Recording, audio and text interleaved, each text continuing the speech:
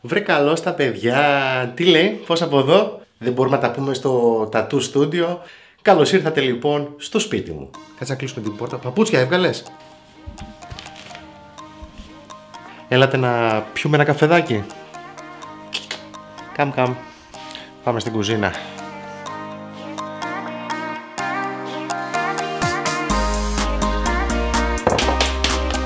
Θα πιούμε χαρμανάκι τέλειο.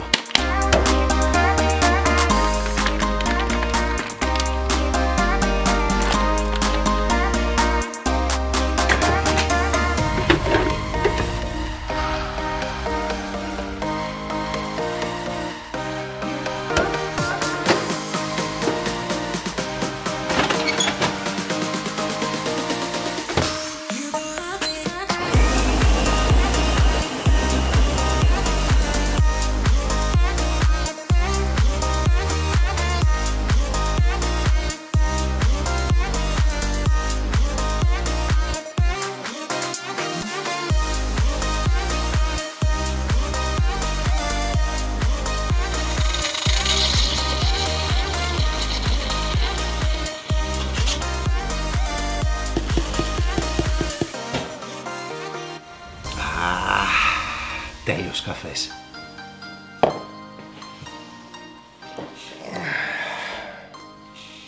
Εδώ είμαστε. Αχ, τι ωραία που είστε εδώ πέρα.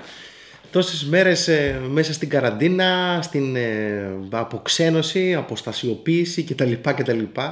Μου έλειψε κόσμος. Επομένως, πολύ ωραία ευκαιρία που ήρθατε όλοι σήμερα εδώ πέρα. Πώς περάσαμε αυτές τις μέρες, τι να σας πω ρε παιδιά, δηλαδή με- η κατάσταση πρωτόγνωρη. Καταρχάς ε, ήταν ένα roller coaster συναισθημάτων έτσι δεν είναι, δηλαδή είχαμε το φόβο, είχαμε τον τρόμο, είχαμε ε, την απελπισία, είχαμε την ανεργία, είχαμε τη- και τι δεν είχαμε; Μέσα σε όλα αυτά υπήρχε και μια αβεβαιότητα για το πότε θα ανοίξουμε, τι θα γίνει, ποια θα είναι η κατάσταση, πόσοι θα κολλήσουν, πόσοι θα...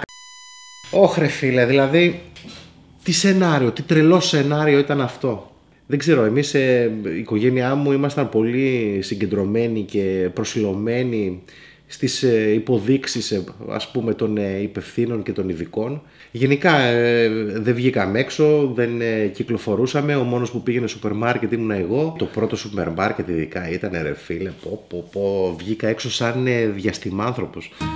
Μάσκα, καπέλο, αλεξίσφαιρο γυλαίκο, τι να πω, γάντια, πλαστικά. Απίστευτη κατάσταση.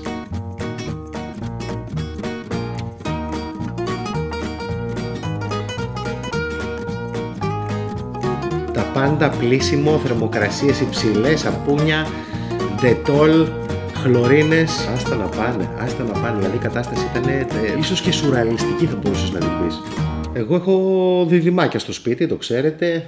5,5 χρονών, ένα γόρι, ένα κορίτσι. Και είμαι πραγματικά, πραγματικά τυχερός γιατί τουλάχιστον είχαν ο ένας τον άλλον, παίζανε. Το περάσαμε πάρα πολύ καλά ως προς τα παιδιά. Δεν είχαμε καθόλου στερείες, πανικούς, ξέρετε τώρα. Όσοι έχετε παιδιά, ξέρετε τι γίνεται. Αλλά από την άλλη πλευρά είχαν ο ένας τον άλλον. Περάσαμε πάρα πολύ ωραία με τα παιδιά. Αυτά δεν κατάλαβαν, δεν γκρίνιαξαν ε, ούτε για μία στιγμή. Μάλιστα, ζούμε σε ακριβώς απέναντι από πάρκο. Να, εδώ πέρα απέναντι έχω πάρκο. Και όταν βλέπανε συνοστισμό και πολλά παιδιά να παίζουν, ε, τα κατακρίνανε κιόλα. Δηλαδή, μαμά, μπαμπά, δες λίγο αυτόν. Πω, πω, πω, δες πόσο κοντά είναι ο ένας με τον άλλον. Τα δίδυμα πραγματικά είναι μια πολύ ωραία περίπτωση. Λοιπόν, ελάτε λίγο να σας ξεναγιώ στο χώρο. Εδώ στο... Α, λοιπόν, αυτός εδώ ο πίνακας, παιδιά, έχει ταξιδέψει Λος Άντζελες.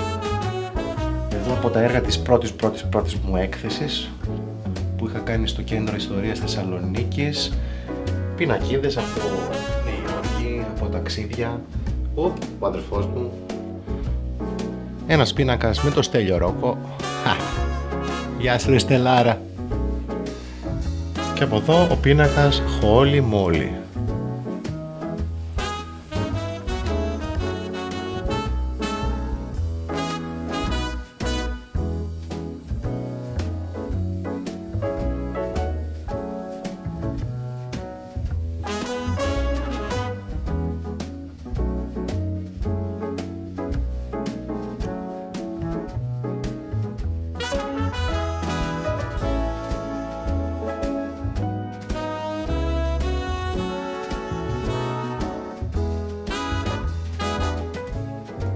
Ένα από τα αγαπημένα μου στοιχεία όμως είναι το πλακάκι. Το πλακάκι είναι ρεκτιφικάτο, δηλαδή ο αρμός εδώ δηλαδή είναι επίπεδος. Δεν κάνει μπομπέ στην κατάληξη το πλακάκι, το βλέπεις; Και όταν το βλέπεις από απόσταση δίνει μια συνεχόμενη, ωραία, flat επιφάνεια. Γνώσεις. Αυτό εδώ είναι το στούντιό μου. Εδώ κάνω όλες τις βρωμοδουλειές.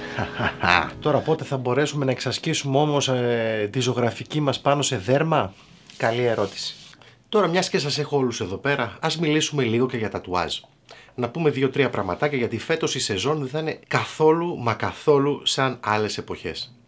Αυτό όμως που μου λείπει περισσότερο απ' όλα είναι πραγματικά το τατού στούντιο. Μου λείπει η δουλειά, μου λείπει η συναναστροφή με τον κόσμο, μου λείπει η δημιουργικότητα αν θέλεις και εύχομαι πολύ σύντομα να ανοίξουμε. Η ημερομηνία εν που μας δίνουν υπολογίζεται στις 1 έκτου. Επομένως 1 Ιουνίου θεωρώ ότι θα ανοίξουν και τα tattoo studio επιτέλους και όλοι εσείς οι tattoo enthusiasts θα βρείτε επιτέλους την ευκαιρία να κάνετε αυτό το τατουαζάκι που επιθυμούσατε. Αυτό όμως που θα είναι τελώς διαφορετικό φέτος είναι ότι τα τατουάζ, τα περισσότερα τατουάζ θα πραγματοποιηθούν καλοκαιρινούς μήνες. Και όπως σίγουρα ξέρεις, το καλοκαίρι δεν είναι η καλύτερη εποχή για να βαρέσεις ένα τατουάζ. Γιατί όμως συμβαίνει αυτό; Γιατί το καλοκαίρι, ε, ως γνωστόν, είμαστε περισσότερο έξω, με λιγότερα ρούχα, το δέρμα μας μαυρίζει, υδρώνουμε περισσότερο και οι περισσότεροι θέλουμε να επισκεφθούμε ρε φίλε μια παραλία, να κάνουμε τον πανάκι μας στη θάλασσα, να παίξουμε και λίγο τικιτάκα. Τικιτάκα δεν το λένε και η Αρβίλα. Μάστε. Αν δώσουμε όμως λίγο προσοχή, είμαι σίγουρος ότι μπορούμε να επιτύχουμε ένα πολύ καλό αποτέλεσμα ακόμα και τους καλοκαιρινούς μήνες. Πώς μπορούμε να το κάνουμε τώρα αυτό; Η κατάσταση θεωρώ χωρίζεται σε δύο φάσεις. Η πρώτη φάση ε, είναι τι θα κάνεις εσύ πριν το ραντεβού σου, πριν να χτυπήσεις το τατουά σου και η δεύτερη φάση είναι η επουλωτική φάση, ας το πούμε, που κρατάει περίπου 10-15 μέρες μετά το τατουάζ. Αναλυτικά τώρα, αυτό που θέλω πάρα πολύ να προσέξεις είναι το τι θα κάνεις πριν ε, έρθει η στιγμή να χτυπήσεις το τατουάζ σου. Θέλω να δώσεις πολύ μεγάλη προσοχή να μην μαυρίσει το δέρμα, τουλάχιστον στην περιοχή που σκοπεύεις να κάνεις το τατουάζ, γιατί το μαύρισμα ε, θα δυσχεραίνει πάρα πολύ την κατάσταση και θα εξηγήσω. Ένα μαυρισμένο, ξερό, σκληρό, ε, αφιδατωμένο δέρμα δεν γράφει ας το πούμε με την ίδια ευκολία όπως γράφει ένα δέρμα μέσα στο χειμώνα το οποίο είναι άσπρο, χωρίς πολύ μελαμίνη, μελαμίνη. Μελαμίνη. Μελανίνη, ενυδατωμένο ωραία χωρίς να το έχει κάψει ο ήλιος. Να υπολογίζεις πάντα ότι όσο πιο σκούρο είναι το δέρμα σου, τόσο λιγότερους ανοιχτούς τόνους μπορείς να βάλεις. Αυτό είναι ιδιαίτερα σημαντικό όταν θέλεις να κάνεις ρεαλισμό ή όταν θέλεις να βάλεις χρώματα με πολύ ανοιχτούς τόνους. Κάτι ροζ, κάτι άσπρα κτλ. Σε ένα ωραίο λευκό δερματάκι θα γράψουν πολύ πιο ωραία οι ανοιχτοί τόνοι από ότι σε ένα καλοκαιρινό μαυρισμένο σκούρο δέρμα. Τώρα, αν πρόκειται για ένα μικρό τατουαζάκι, το οποίο ε, αποτελείται από γραμμικά στοιχεία, δηλαδή μόνο γραμμές και όχι σκιές. Ε, αν ε, αποτελείται μόνο από μαύρη χρωστική ουσία, τότε και λίγο περισσότερο μαυρισμένο να είναι το δέρμα σου δεν επηρεάζει το τελικό αποτέλεσμα. Αν θες να κάνεις κάποιο ονοματάκι, αν θες να κάνεις κάποιο συμβολάκι, όλα αυτά εδώ μπορείς να τα κάνεις ασχέτως αν έχεις μαυρίσει λίγο ή όχι. Τώρα από την άλλη πλευρά όμως, τι θα κάνεις μετά το τατουά σου είναι πάρα πολύ σημαντικό και αφορά όλους. Και μάλιστα θα βάλω και ένα link εδώ πιο πάνω έτσι ώστε να επισκεφθείς ένα βιντεάκι και να το δεις όπου μιλάω με μεγάλη λεπτομέρεια για τον ε, σωστό τρόπο φροντίδας και επούλωσης ενός τατουάζ. Επομένως, aftercare στο link πιο πάνω.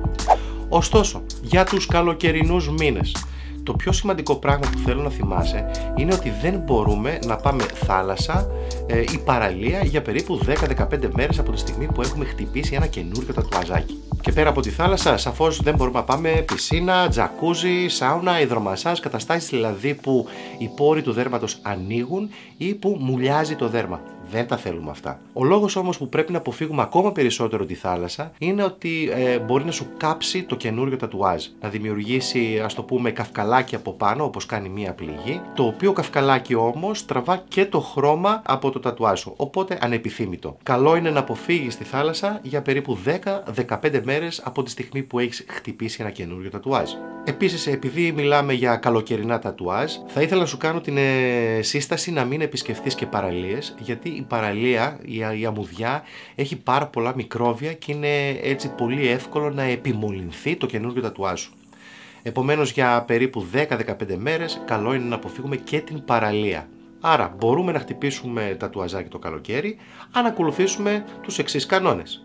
Πρώτον, το δέρμα σου να είναι όσο πιο άσπρο γίνεται, ενυδατωμένο, προστατευμένο από μια ωραία αντιλιακή κρέμα με υψηλό δίκτυ προστασίας και μετά το τατουάζ σου να αποφύγεις θάλασσα, παραλία, πισίνα. Με αυτόν τον τρόπο θα μπορείς να κάνεις και το τατουαζάκι σου και έναν επιτυχημένο και να μην χάσεις και τις διακοπές σου.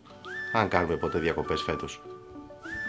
Λοιπόν, αυτά από μένα. Εύχομαι γρήγορα να αποκατασταθεί όλη η κατάσταση, να επιστρέψουμε όλοι στις δουλειές μας, να αρχίσουμε ξανά να μπαίνουμε σε μια πραγματικότητα, κοινωνικότητα και κανονικότητα.